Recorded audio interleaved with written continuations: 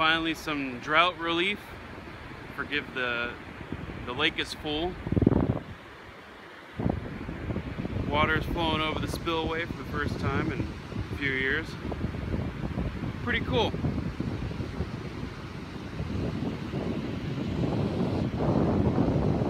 Drought is over.